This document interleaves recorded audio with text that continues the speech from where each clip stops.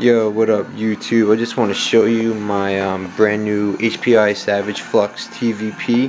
Um, I know I have previous videos of my friend's TVP.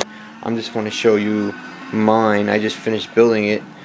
Um, I just want to show you that I did put the one fit scale hubs on so I can put these are Baja wheels that were on my pre on my Baja and I just bought another set so I added the one fifth scale wheels which my friend did not have.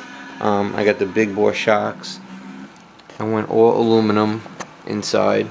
The, the C blocks the axles everything's aluminum. Um, all the arms are RPM um, that's all the upgrades I did for this. So this thing is gonna be pretty much bash proof. Um, this thing's pretty heavy the shocks on the big bore shocks the springs, I'm sorry, the springs on the big bore shocks, it's just not holding the weight, so I ordered another set of big bore shocks for this truck, so it can handle the bashing and the weight, so yeah, can't wait. I will have some upcoming videos, hopefully this weekend, so um, that's it.